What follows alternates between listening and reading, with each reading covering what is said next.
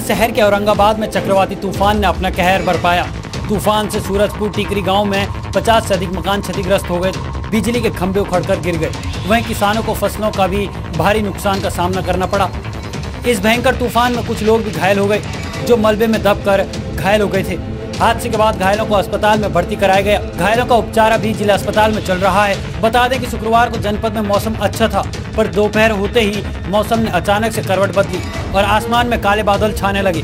फिर करीब साढ़े तीन बजे तेज हवाएँ चलने लगी और कुछ ही देर में यह चक्रवाती तूफ़ान में तब्दील हो गया। हवाएँ ज़मीन से गोल गोल घूमते हुए आसमान की ओर दिखने लगी। तूफ़ान के रास्ते में आए दर्जनों मकान क्षतिग्रस्त हो गए। मकानों के टीन सेट समेत अन्य सामान बवंडर में उड़ने लगे। लोगों के घरों के सामान हवा के साथ उड़कर दूर तक चले गए। इस दौरान किसी मकान का पक्का लेंटर गिर गया तो किसी का छप्पर नीचे आ गया।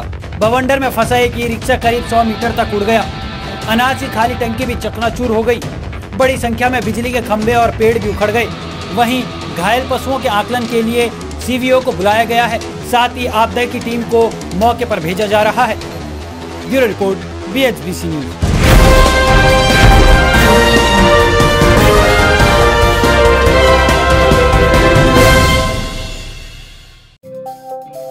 रोज की ताज़ा खबरें सुनने के लिए सब्सक्राइब करें B H P C news channel. साथ ही रोज के नोटिफिकेशन जानने के लिए दबाए बेल आइकन साथ ही हमें अपनी राय देने के लिए हमारी वीडियो पर कमेंट करके बताएँ और वीडियोस को लाइक और शेयर करना बिल्कुल ना भूलें।